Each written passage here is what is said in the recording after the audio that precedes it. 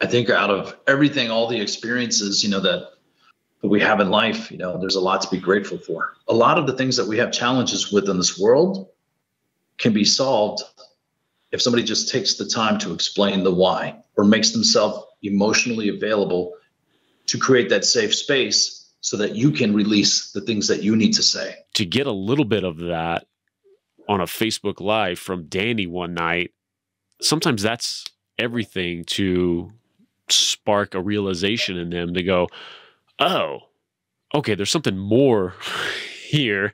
And I'm not the only one who's been going through this. Awesome. And now they can take that next step. When I'm, we're engaging in conversations, you know, my main thing is like, okay, why are we going to meet?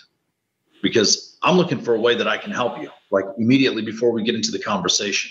It's like, what can I do for this person or who do I know that I can connect them with that is going to help solve a multitude of of challenges for them. A lot of the reason why I started Voice Your Life is because the technology is so affordable that you can make the investment and pretty much create a library based on a legacy. There is a power to that, to owning it, just if nothing else for yourself. This is what I stand for. This is what I want. This is what I'm doing next.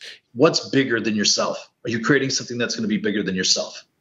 That's why it's not called Danny Galvez. It's called Voice Your Life. What you say out loud can come true.